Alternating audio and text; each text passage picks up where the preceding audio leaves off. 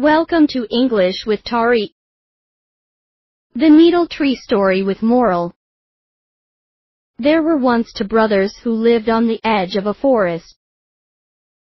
The elder brother was very mean to his younger brother, and ate up all the food and took all his good clothes.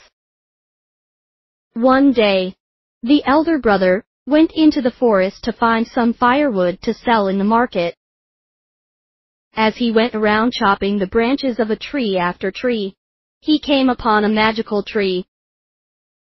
The tree said to him, Oh, kind sir, please do not cut my branches. If you spare me, I will give you my golden apples. The elder brother agreed, but was disappointed with the number apples the tree gave him. Greed overcame him, and he threatened to cut the entire trunk if the tree didn't give him more apples.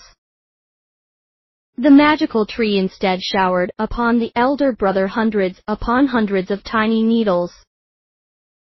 The elder brother lay on the ground crying in pain, as the sun began to lower down the horizon. The younger brother grew worried, and went in search of his elder brother. He found him with hundreds of needles on his skin. He rushed to his brother and removed each needle with painstaking love. After he finished, the elder brother apologized for treating him badly and promised to be better.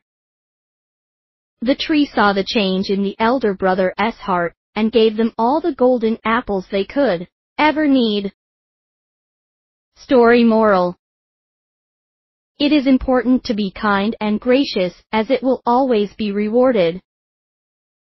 Like and share this video.